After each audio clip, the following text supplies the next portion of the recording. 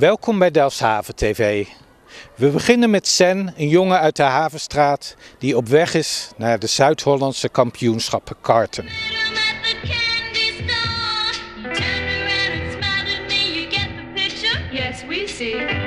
Deze was van 2012.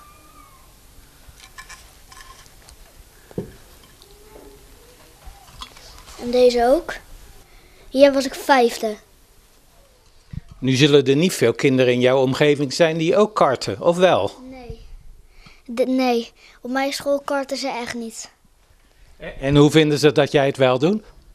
Eh, vinden ze heel leuk. En- En dan zijn ze een beetje jaloers. Zeggen ze, mag ik ook mee mijn karten? Hoe oud ben jij, Zen? Ik ben nu tien. En eh, wat voor school doe je? En Cornelis leven lang. En Wat zijn jouw toekomstdromen? Eh, Formule 1 coureur of iets met racen. En Je bent ook wel een talent. Ja. En zijn je ouders een beetje trots op je? ja die zijn heel trots. Ja, En de mooiste is eigenlijk deze. dat vind je de mooiste. Ja, Waarom vind je dat de mooiste? omdat, omdat het een beetje lijkt op een Formule, Formule 1 beker.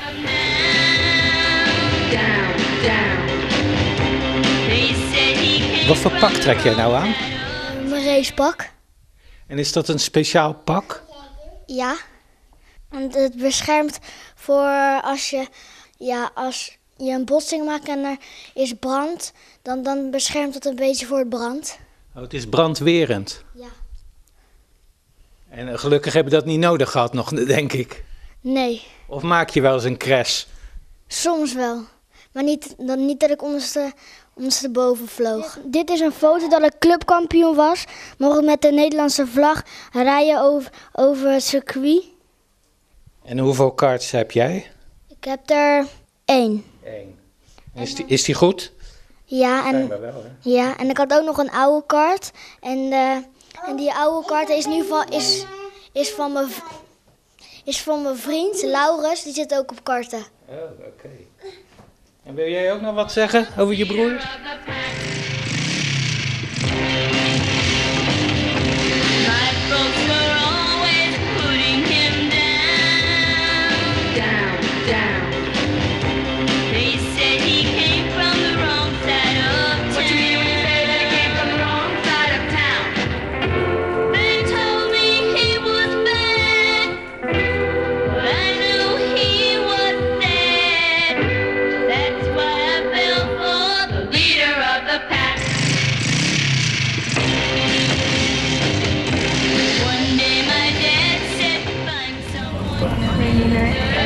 Begged him to go slow.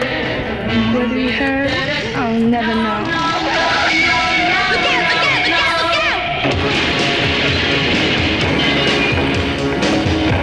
I felt so helpless, what could I do?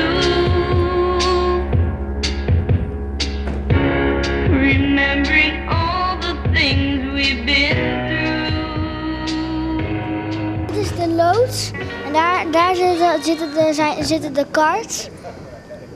En eh, dan zie ik dat je vader aan het sleutelen is. Wat moet hij allemaal doen om zijn kart in orde te maken voor eh, de race aanstaande weekend?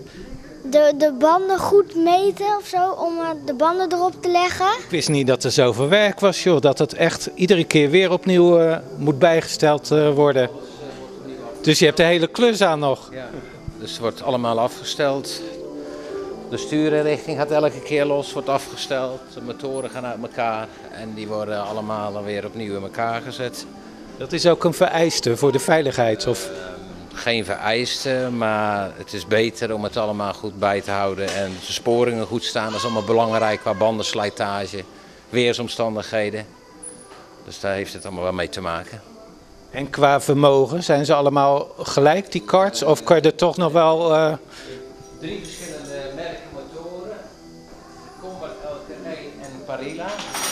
En die motoren lopen allemaal 14.500 toeren. Die hebben allemaal een certificaat.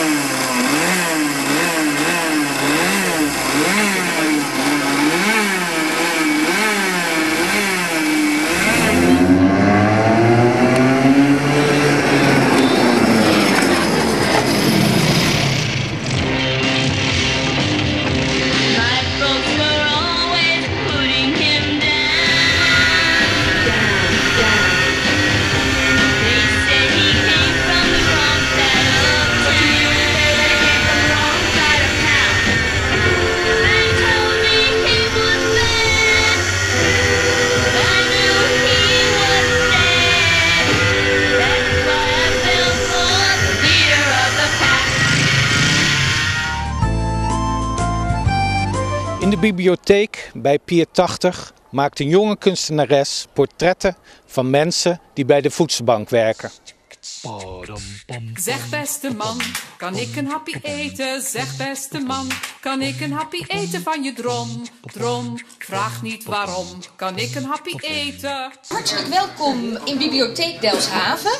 Wij vinden het altijd heel erg leuk als er eh, zeker volwassenen in de bibliotheek komen. Wij hebben namelijk een bibliotheek waar heel veel jongeren komen. Dus eh, geweldig dat jullie vandaag allemaal zijn en zeker geweldig voor de kunstenares.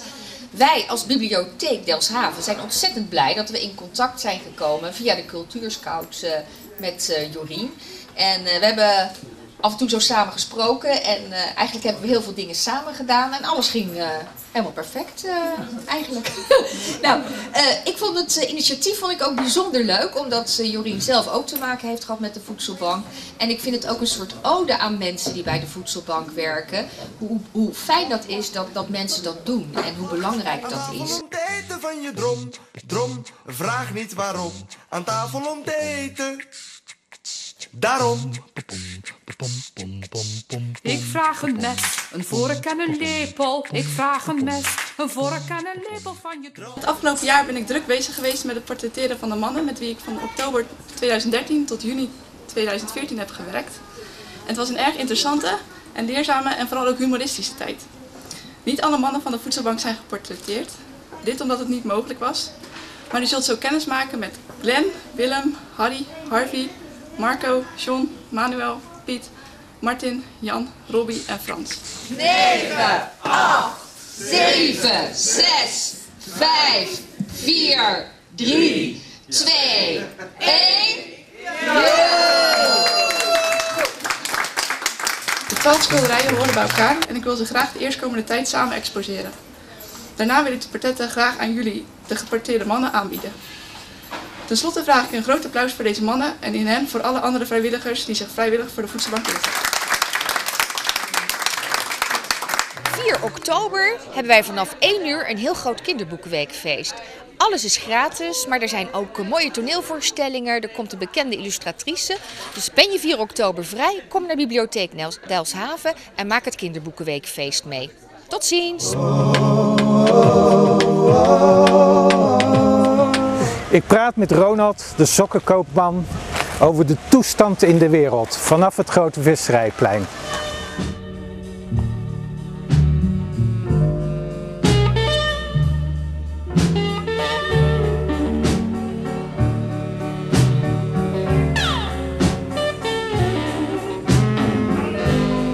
Hi Ronald, tijd geleden. Een tijdje geleden hadden we het over de toestand in de wereld. Het is niet echt beter geworden. Nee, zou ook nooit beter worden. Het is altijd zo geweest. Ook eh, 300 jaar geleden. Alleen toen was er geen media, dus toen zagen de mensen het niet van elkaar. Maar geloof nou voor mij aan dat het nooit anders beter is geweest. Toen had ik het er nog over, ja, bang voor een derde wereldoorlog. Jij zegt, nou, dat zal zo vaart niet lopen. Nee, nee, dat denk ik niet. Maar eh, als het zover loopt, vind ik alleen erg voor de kinderen. Dat heb ik toen ook gezegd. En voor de rest eh, heb ik er niet zoveel mee. Mensen doen het zelf bij elkaar. Dus, Toen bestond ISIS ook nog niet. Want wat... Maar misschien eh, nog niet eh, van die vorm eh, of eh, in de picture. Dat zou het wel geweest zijn. Nee, is is goed. Wat vind je daarvan, van dat eh, grove geweld? Ja, Kan, dat kan natuurlijk niet. Het moet uitgeroeid worden. En eh, ze moeten niet de moslims hierop aankijken, want eh dat slaat ook nergens op natuurlijk. Ik bedoel, dat is een bepaalde groep zoals je ook in ieder geloof vroeger of in tijden eh, extremisme had. Maar je kunt natuurlijk niet eh, daar het moslim op, op afrekenen. Dat zijn, die mensen, dat zijn allemaal nette mensen. En het zijn nogmaals, onder ieder volk en ieder geloof en, en iedere vorm van, van ras heb je goede en slechte. Maar het lijkt wel heel dichtbij te komen dan, als je hier de ISIS-vlaggen ziet waaien. Ja, tuurlijk, ja. ja. Dat, eh, het zal best. Maar ik denk ook dat een, mijn mening is, ik denk dat ook een deel toch wel met Palestina te maken heb. Een soort onvrede. De een komt het ander natuurlijk. Hè. En dat is niet goed te praten wat er gebeurt. Maar ja, ik vind ook de, tot Palestina als een stuk vuil behandeld wordt, kan natuurlijk ook niet. Daar gaan we verkeerd mee om. De wereld vind ik wel, ja. Ik denk dat die, eh, eh, daar komt het weer op neer, om een graf te zeggen. Misschien die Joden meer geld hebben en het geld wint altijd waarschijnlijk weer. En ik vind wel tot, eh, dat die Palestijnen nooit zo behandeld mogen worden natuurlijk. Ook wat een paar jaar geleden is gebeurd. eh, minder water geven omdat het te weinig is, maar de Joden liepen de auto te wassen. En de kinderen daar hebben geen water, weet je. Ik bedoel, eh, er zit ook lief volk bij, er zitten ook kleine kinderen bij. En ik bedoel, ik heb, eh, ik, heb er niet heel veel verstand van, gewoon echt in verdiept. Misschien ook egoïsme. Maar als je dan kijkt wat het stuk Israël eh, is en het stuk Palestina, dan klopt het ook niet. Een heel klein stukje Palestina en de rest is van Israël. Maar rechtvaardigt dat dan het geweld van ISIS bijvoorbeeld? Met onthoofdingen en... Nee, dat rechtvaardigt niet op zo'n manier. Maar eh, het is natuurlijk wel zo dat het tot zeg maar de, Israël in dit geval het eh, zover heeft laten komen. Wat niet nodig was geweest. Ik bedoel, op een gegeven moment ben je wanhopig. Als het daardoor, ik denk dat wel een, een gedeelte daarmee te maken hebt. Weet je wel, dan, dan word je wanhopig. Ik bedoel, eh, hun hebben geen wapens en, eh, en, en, en, en, en raketten. En, snap wat ik bedoel? Dus het is eigenlijk ja, een soort noodsprong. Maar nogmaals, op zo'n manier, ja. Maar kijk, daar komen natuurlijk ook, eh, dat is natuurlijk een, niet goed te praten misschien. Maar aan de andere kant, er wordt ook raketten op Palestina gegooid. Tot de onschuldige kinderen. Wat is het verschil? Kijk, dat onthoofden is natuurlijk luguber in onze gedachten. Maar er komen ook onschuldige mensen daarom door een bom. Dus dood is dood.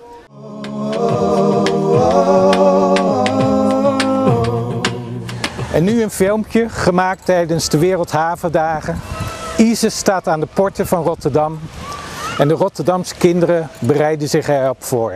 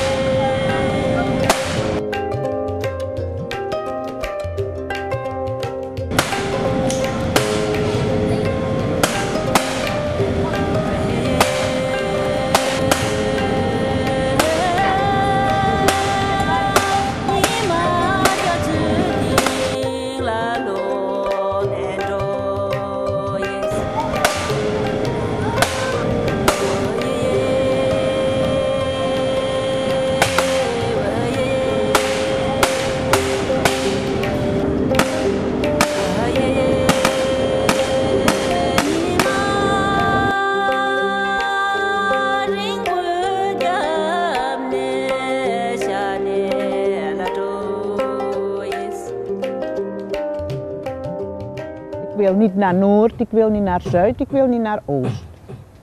Ik wil in de buurt blijven. Dus eh, ik heb goede de- tijden meegemaakt, slechte tijden, inspangen. Maar ik ben gewoon een Spangenees. Hartelijk dank voor het kijken naar Delfshaven TV. Graag tot aanstaande donderdag. Volg ons ook op YouTube, Twitter en Facebook.